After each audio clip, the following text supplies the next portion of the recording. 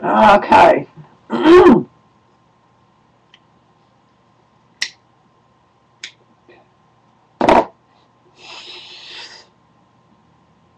I just want to say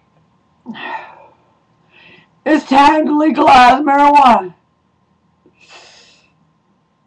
I know for a fact that for a time there was places in Oklahoma City that let you smoke out in public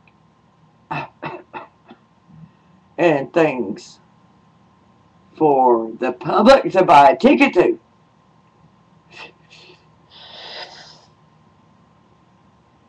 And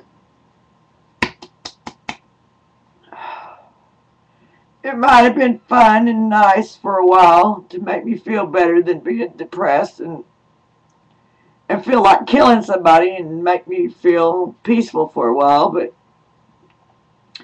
hey, when they tell me I'm getting glaucoma, I can see better only when I smoke some, but I don't get none no more, huh?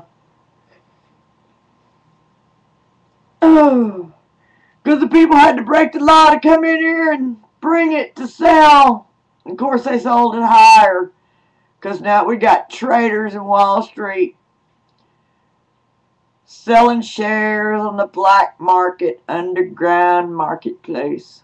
That's the illegal drugs. Of course,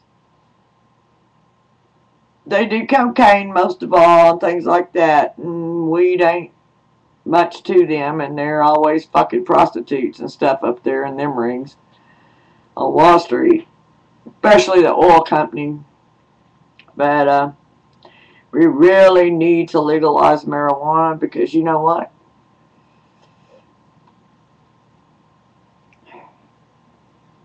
God made this for us. And now man has said we can't have it and they're trying to kill us with alcohol instead. And that's the only medicine we can take to get rid of pain instead of having a little bit of something that will help us and not hurt us as alcohol does.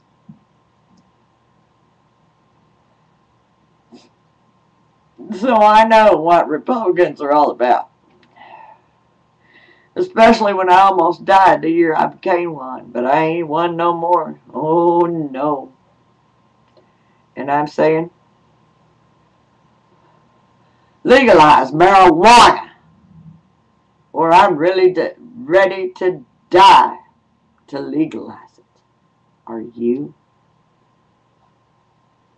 Have a great night.